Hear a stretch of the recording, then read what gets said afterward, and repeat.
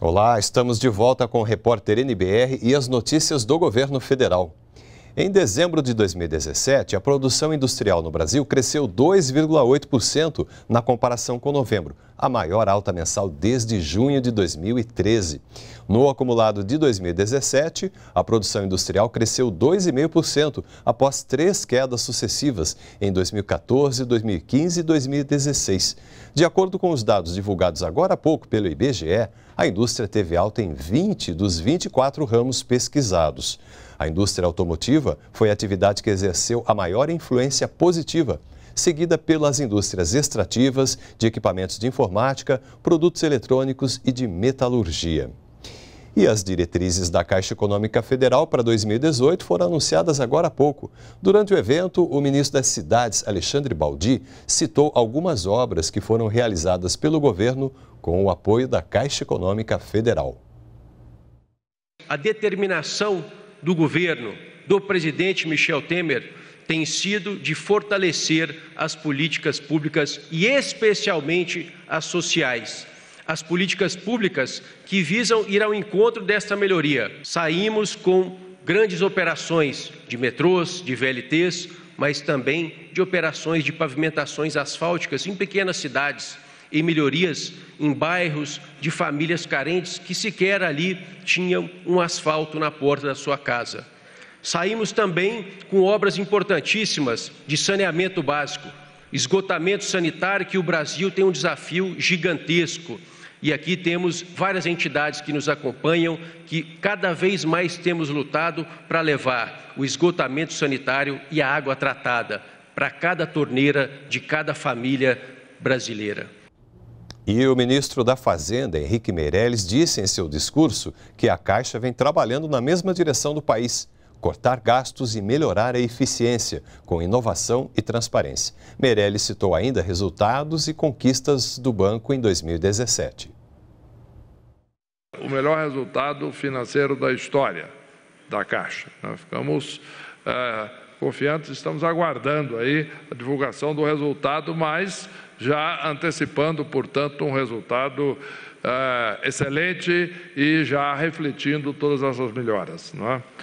A aprovação do novo Estatuto da Caixa Econômica Federal, que inclui a constituição de comitês independentes visando melhorar a governança da Caixa. Isso é fundamental.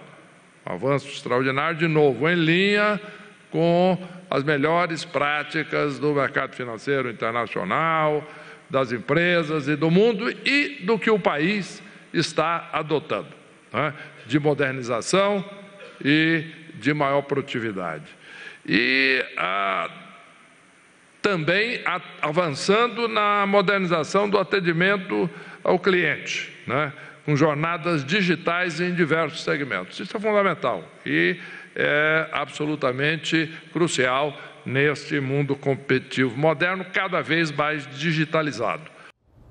O presidente da República, Michel Temer, também participou do evento. Ele falou das conquistas do governo que não poderiam ser contestadas, nem mesmo pela oposição. Este ano nós estamos entrando num período eleitoral, não é? Haverá disputas, controvérsias, contrariedades, contestações, e é natural que alguns digamos assim, a, apoiem o que o governo fez, outros não apoiem. E ao não apoiarem, onde haverão de, na verdade, contestar o que o governo fez. Mas pelo relato que o Baldi e o Meirelles fizeram, é interessante quem quiser contestar as obras do governo terá que dizer o seguinte: olha aqui, eu sou contra o teto dos gastos públicos, porque eu quero gastar à vontade. Eu não me importo com o que acontece quanto à responsabilidade fiscal ou não.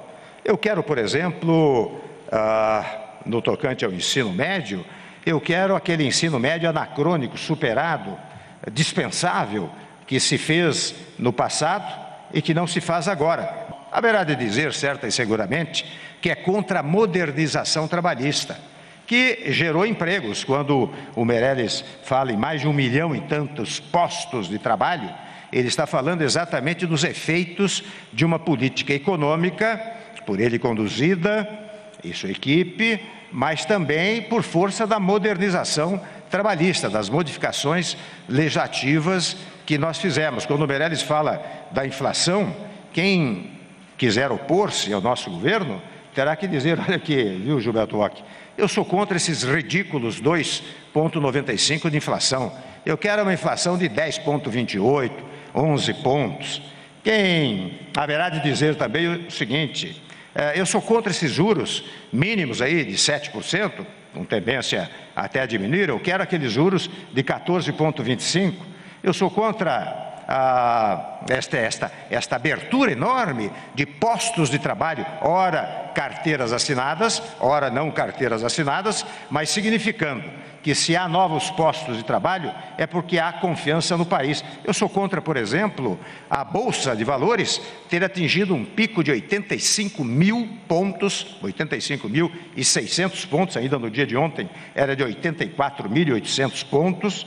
Eu sou a favor da manutenção daqueles 65 mil pontos, portanto, sou a favor da falta de credibilidade no país. O Supremo Tribunal Federal abriu nesta manhã o ano judiciário de 2018. O presidente Michel Temer participou da cerimônia ao lado de outras autoridades do Executivo, Legislativo e Judiciário. O evento foi transmitido ao vivo pela TV NBR e pela TV Justiça. Em seu discurso, a presidente do STF, Carmen Lúcia, elogiou o papel da Constituição, das leis e da Justiça em momentos de crise. E a Procuradora-Geral da República, Raquel Dodge, lembrou que é dever da Justiça corrigir erros, reparar injustiças e garantir direitos. Órteses e próteses são equipamentos médicos que ajudam a ampliar a mobilidade e a autonomia de pessoas com algum tipo de deficiência.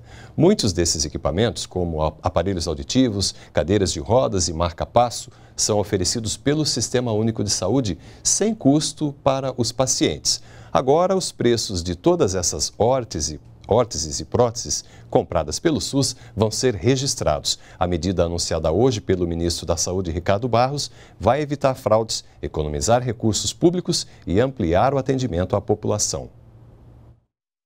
Nós temos pesquisas de que os preços cobrados nas órteses e próteses são muito diversos em todo o Brasil. Hum, variações enormes. Né? Então, o objetivo do Ministério, ao publicar essas atas de registro de preço, é balizar o mercado. O gestor do hospital, o gestor municipal, ele pode comprar o medicamento aderindo a essa ata, utilizando esta ata do Ministério como sua licitação para exigência legal e adquirir aquele produto por aquele preço. Então, se ele não é obrigado a fazer isso, mas se não fizer, terá que explicar que a sua compra deu um preço maior, por que ele não adotou aquele método que era mais econômico para o erário público? E nós ficamos por aqui. Você pode rever as reportagens no YouTube. Continue com a gente aqui na NBR, a TV do Governo Federal.